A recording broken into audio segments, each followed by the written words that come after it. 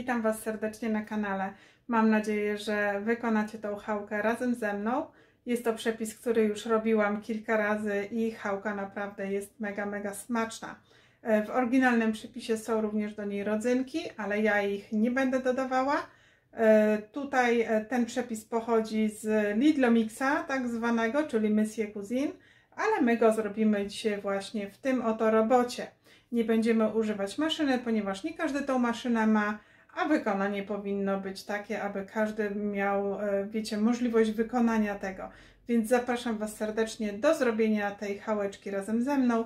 Ja już teraz znikam, przekierowuję Was na robota i działamy. Ok, i na początek będziemy potrzebowali 250 e, gramów e, mleka, więc odmierzamy 250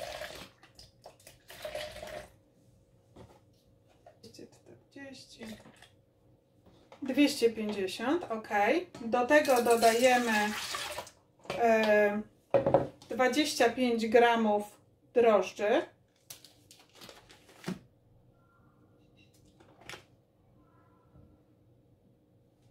Mhm. Ja je po prostu kruszę. Dodatkowo będziemy dodawać 60 e, gramów cukru.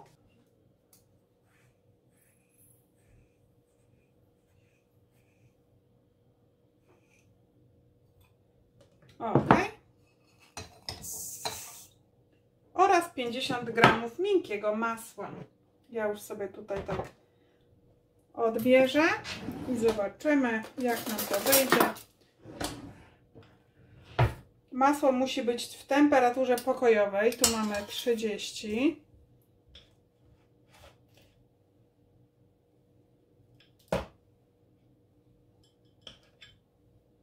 Ok, mamy 50.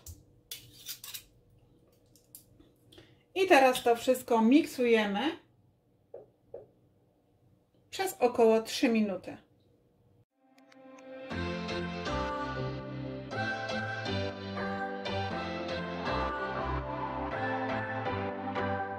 What's your story? What's your sign? It's like we're twin flames in a different life. Deep connection lights a spark. It's like you know me in the depths of my heart. We're dreamers. Ok, ja w międzyczasie też e, zmieniłam nakładkę.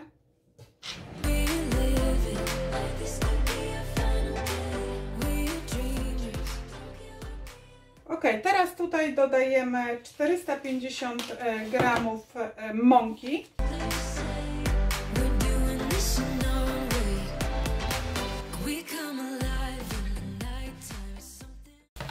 Dodajemy jedno jajko w temperaturze pokojowej.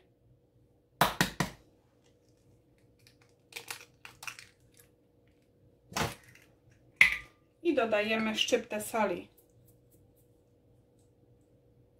To wszystko zagniatamy przez około 2 minuty.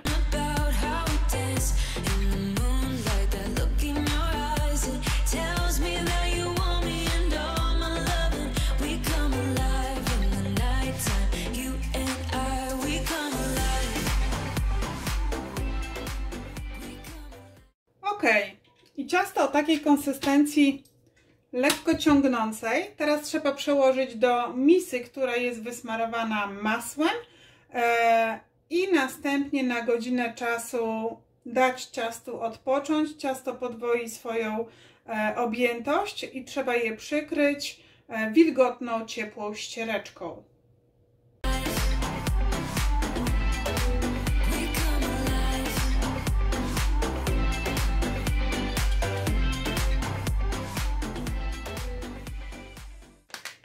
Takie ciasto przykrywamy wilgotną ściereczką. Ja ściereczkę po prostu zmoczyłam pod gorącą wodą, pod ciepłą wodą w kranie.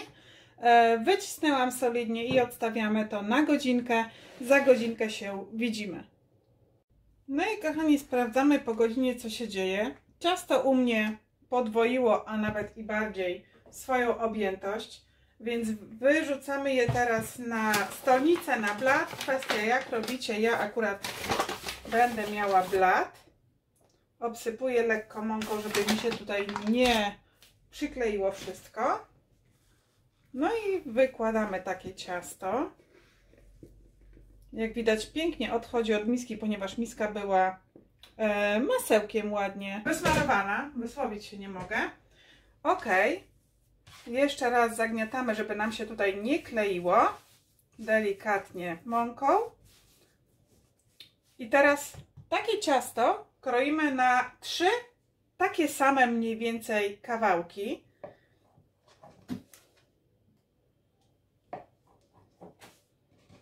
I każdy z tych kawałków oczywiście rolujemy.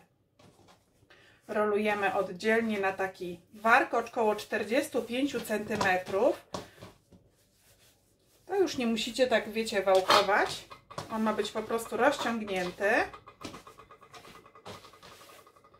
Ok, bierzemy drugi.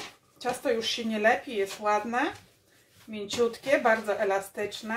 Daje się spokojnie rozciągać. Mamy drugi, nawet jakieś dłuższe nam wyszło. Ok, i trzeci kawałek. W tym samym czasie akurat, jak tylko to zrobimy, rozgrzewamy piekarnik. W sumie to nawet możemy to zrobić troszkę wcześniej. Piekarnik rozgrzewamy na 200 stopni i do piekarnika wkładamy na sam spód um, jakiś pojemnik żaroodporny napełniony wodą.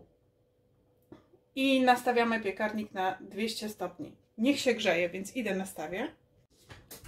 Ja już włożyłam naczynie na sam dół. E, grzałka oczywiście w piekarniku góra-dół.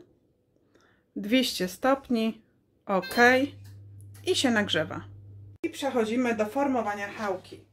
Jeden brzeg sobie sklejamy i robimy jak warkocz. Wiecie, przekładamy. Tutaj można już tak zagnieść, żeby się ładnie zrosło.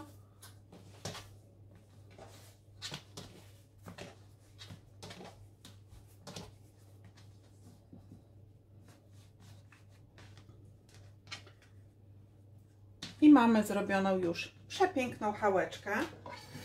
Teraz taką chałkę przekładamy na mm, tackę wyłożoną papierem do pieczenia. U mnie jest to blacha, która jest z piekarnika i na tą blaszkę mm, trzeba tak wyłożyć na sam środek delikatnie, dlatego że ona dosyć mocno urośnie w trakcie pieczenia.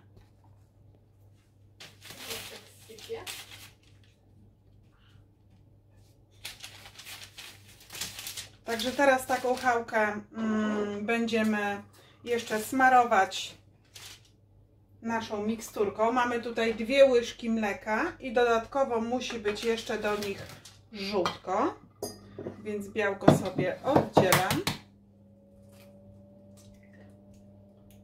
I takim roztrzepanym żółtkiem z mlekiem smarujemy chałkę i ona wtedy idzie do piekarnika. Chałkę taką wkładamy do piekarnika i pieczemy około 30 minut na 200 stopniach bez termoobiegu. Pamiętajcie, że tutaj nie używamy termoobiegu, więc e, już bierzemy teraz do smarowania. What's your weakness? What's your type? Somehow I wanna know all about you.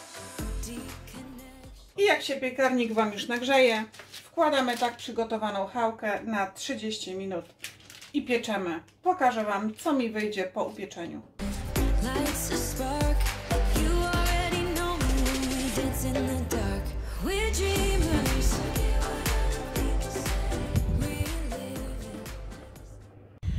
I tutaj, kochani, trzeba tą chałeczkę obserwować. Mi zostało jeszcze 13 minut, ale jeżeli chałeczka w taki sposób już na górze się ładnie podpiekła, to trzeba ją do końca czasu e, pieczenia e, przykryć folią aluminiową.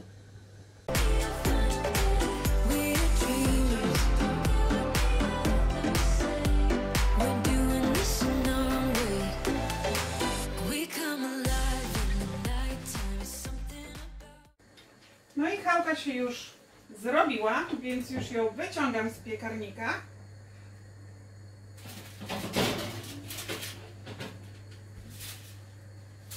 Już Wam pokazuję, jak ona mi wyszła. Odkrywamy i już na górze nic nie się nie przypaliło, bo było przykryte. Można przykryć troszkę wcześniej. Taka jest na wielkość. Mówiłam Wam, że ona dosyć mocno urośnie. E, I teraz e, musi przestygnąć i ja Wam ją rozkroję i pokażę, ale ogólnie jest na pewno mięciutka, bo widzę, że już wyszła. Jest świeżutka, mięciutka, idealna, e, wiecie, do, na śniadanko, czy czy jakąś przystaweczkę. Tak wygląda ona od góry. Coś troszeczkę mi się bardziej ona rozrosła niż zazwyczaj. Mniej ją chyba zwięźle zrobiłam, ale i tak wyszła, bo widać, że jest po prostu, wiecie, mm, mięciusieńka. Dobra, później się jeszcze z Wami połączę i pokażę Wam, jak ona wygląda w środku. Ok, kochani, chałka już wystygła, praktycznie, więc wygląda tak. Może ja ją teraz przekroję i Wam pokażę, jak ona wygląda w środku. Weźmiemy nożyk z ząbkami, przekroimy ją tak w połowie, w jednej trzeciej. Jak widzicie jest mięciutka, a w środku wygląda tak. Także bardzo, bardzo gorąco Wam polecam zrobić tą chałeczkę. Jak macie ochotę na bułeczkę, nastawić szybciutko. Niewiele pracy, troszeczkę trzeba poczekać, żeby wyrosło. E, w Monsieur Cuisine e, dużo szybciej wyrasta, ponieważ ono tam jest zagniatanie pod wpływem temperatury 37 stopni, więc jak postawicie gdzieś koło kuchenki, na której się coś gotuje, o wiele szybciej to ciasto wyrasta. Mi to zajmuje z reguły koło 30-40 minut, ale że dzisiaj robiłam to w robocie, aby pokazać, że tą chałkę można przyrządzić również poza urządzeniami, więc uważam, że i tak wyszła super. Zaraz przekroimy kawałeczek, zobaczymy, czy w smaku też jest super. Mm. Patrzcie, co się dzieje. To jest po prostu genialna. Bardzo polecam. Można posypać jeszcze mm, płatkami, e, nie owsianymi, tylko migdałów. Można dodać rodzynki. Jeszcze raz gorąco polecam zrobić i zapraszam Was do następnego filmu, który pewnie też się niedługo pojawi tutaj na kanale. Życzę smacznego. Dajcie znać koniecznie w komentarzach. Możecie mnie również oznaczać na Instagramie na koncie Marta w biegu. Jeżeli zrobicie chałkę, śmiało oznaczajcie konto, oznaczajcie mnie, e, a ja widzę się z Wami w kolejnym filmie. Do zobaczenia.